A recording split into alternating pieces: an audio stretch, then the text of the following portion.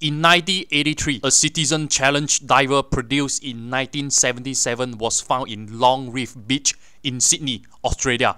The watch was fully covered in barnacles after being submerged in the Pacific Ocean for years, but the movement inside had remained protected from the sea water and was still ticking. This year, in 2022, two new mechanical diver to pay tribute reissue for the vintage Citizen Challenge diver will be releasing this year, inspired by the 1917s Challenge diver with upgrade specification. There is two different variation in this model series, the black dial in black rubber strap and the blue dial in full titanium bracelet. Both model is feel super on wrist thanks to its 41mm case size and only 12mm in thickness and both color model is made up of so-called super titanium titanium Duratect from Citizen that holds strong scratch resistant and harder than steel. Don't forget it's so lightweight on the wrist. It also has a serious ISO rating 200 meter diver water resistant approved.